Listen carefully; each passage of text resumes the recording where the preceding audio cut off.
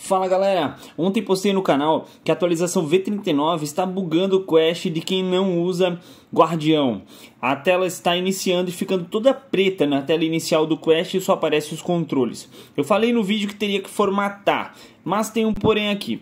O inscrito Ademar Batista trouxe a novidade pra gente que tem um jeito de burlar isso e conseguir iniciar o Quest e ativar o Guardião, tá certo? Então vamos fazer aqui agora. É importante que vocês vejam porque eu iniciei meu, formatei meu Quest, iniciei ele, daí usei e depois desativei o Guardião. Quando eu reiniciei o Quest, tela preta de novo. Então toda vez que ligar o Quest sem Guardião, vai dar tela preta. Então vem no aplicativo Óculos, procura um aplicativo que você tenha, Virtual Desktop eu uso lá, clica nele.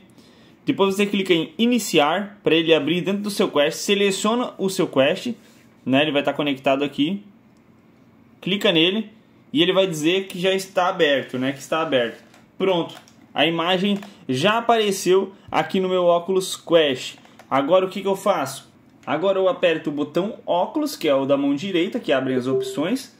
Eu entro em aplicativos, configurações, sistema, desenvolvedor e ativo guardião. Pronto. Agora o que a gente precisa é confirmar o guardião ou redesenhar ele e sair do Virtual Desktop aqui para a gente confirmar que deu certo.